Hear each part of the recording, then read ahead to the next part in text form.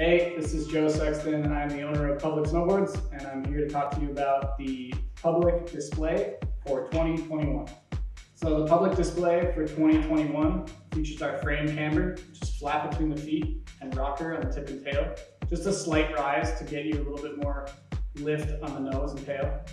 It also features carbon stringers from the tip and the tail to give you more stability when riding at high speeds and aramid stringers in a V shape on the nose and the tail to give you a little bit of extra pop. The display also features a sintered base and urethane sidewalls, as well as a poplar light core. The display is Darrell Mathes's pro model. Darrell's been riding for us since the very beginning, and he is a very skilled photographer. So for this board, we wanted to feature his photos and laid out in a really unique way on the top and the base of the board.